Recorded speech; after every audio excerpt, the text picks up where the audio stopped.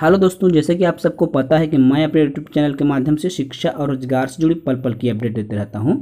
दोस्तों, आज मैं इस वीडियो के माध्यम से आपको बताने वाला हूँ कि कार्यालय कलेक्टर जिला जांजगीर चांपा, छत्तीसगढ़ के अंतर्गत कुछ पदों पर रिक्तियाँ जारी की गई है। चलिए दोस्तों, देर न करते हुए हम चर्चा की शुरुआत करते हैं।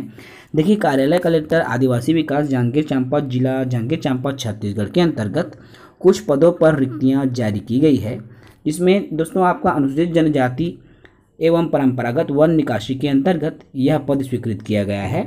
देखिए दोस्तों, इसमें पदों की हम बात करें तो कुल पदों की संख्या दो है, अर्थात जिला परियोजना समन्वयक तथा क्षेत्रीय कार्यकर्ता के एक एक पद स्वीकृत किए गए हैं। कलेक्टर ऑफ़िस जिला जांजगीर द्वारा। यदि हम इनके अलग अलग पदों के लिए वेतनमान की बात करें दोस्तों तो जिला समन्वयक के लिए अट्ठारह हज़ार रुपये प्रति माह आपको वेतन प्रदान किया जाएगा। साथ ही साथ क्षेत्रीय कार्यकर्ता फ़ील्ड वर्कर में आपको पंद्रह हज़ार रुपये प्रति माह वेतन दिया जाएगा। तो बहुत ही अच्छा और सुनहरा अवसर है। यदि आप योग्यता रखते हैं तो आवेदन कर सकते हैं। आवेदन करने की तिथि की मैं बात करूँ दोस्तों तो विज्ञापित पदों पर आवेदन करने की अंतिम तिथि तेरह छः दो निर्धारित की गई है। जी हाँ दोस्तों, तेरह जून दो हज़ार बाईस तक आप आवेदन कर सकते हैं।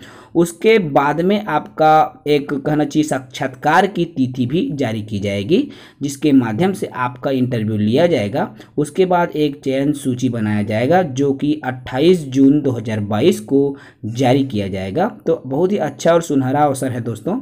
यदि आप योग्यता रखते हैं तो आवेदन कर सकते हैं।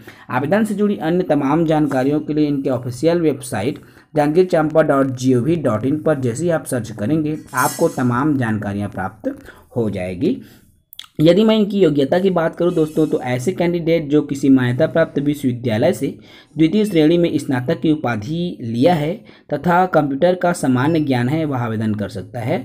अर्थात ग्रेजुएट होना चाहिए और सामान्य ज्ञान होना चाहिए कंप्यूटर में तो आप आवेदन करने के लिए पात्र माने जाएँगे। साथ ही साथ दोस्तों, हम बात करें अगर आयु सीमा की तो एक जनवरी दो हज़ार बाईस की स्थिति में आपकी जो उम्र सीमा है चालीस वर्ष से अधिक नहीं होना चाहिए, अर्थात अधिकतम आयु सीमा चालीस वर्ष निर्धारित की गई है। साथ ही साथ दोस्तों, आपको छत्तीसगढ़ राज्य का मूल निवासी होना चाहिए, अर्थात यदि आप छत्तीसगढ़ के किसी भी ज़िले में निवासरत हो तो आप आवेदन करने के लिए पात्र माने जाएँगे। दोस्तों, मैं एक बार और आपको पुनः बता देना चाहता हूँ कि 13 जून 2022 तक आवेदन करने की तिथि निर्धारित की गई है।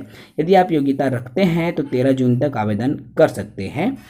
इनसे जुड़ी और अधिक जानकारियों के लिए जो भी पीडीएफ है, मैं उसका लिंक नीचे डिस्क्रिप्शन में डाल दूँगा। आप वहाँ से भी जाकर डाउनलोड कर सकते हैं।